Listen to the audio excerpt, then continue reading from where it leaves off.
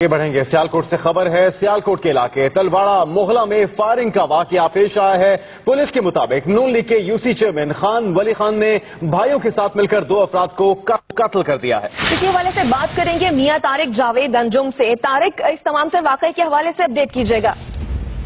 سیالکوٹ تھانہ رنگپور کا علاقہ ہے تلواڑا مغلا وہاں کا یو سی چیئرمین ہے شیر خان اور اس نے اپنے دو بھائیوں کے ساتھ ولی خان اور ایک شان خان کے ساتھ مل کر فائرنگ کر کے مرزا عمران بیگ ایڈوکیٹ ہیں اور مرزا ظفر بیگ ایڈوکیٹ اور Mirza Imran Baig P T I کے جو ہیں ان کو فائرنگ کر کے قتل کر دیا گیا ان کی یہ سیاسی رنجش تھی یہ ذات کشمیر کے الیکشن جو جسا ہوئے ہیں، ان کے درمیان ان کی سیاسی رنجش آ رہی تھی۔